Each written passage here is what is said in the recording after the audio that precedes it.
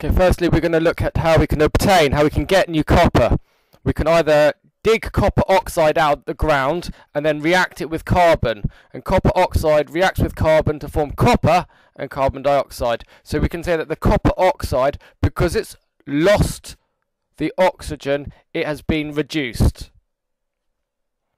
Um, the second way we can do it is just simply recycling old used copper. The advantages of this is that recycling saves resources and it saves energy and it's cheaper. However, the disadvantages are that you may need to sort the copper from all the other materials it's with, and even then, when you've got it, it may not be pure, so you may have to purify it.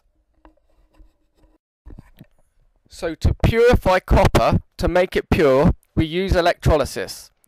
We need a power supply, we need two electrodes, one anode and one cathode, and we need something called an electrolyte, which is an, a liquid which we put the electrodes into. Now, the anode is made out of impure copper, and that's going to dissolve and it's going to lose mass.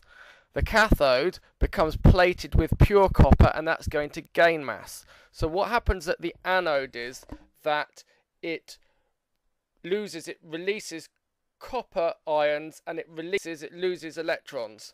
And what happens at the cathode is that electrons are gained and that new copper metal is gained around the cathode.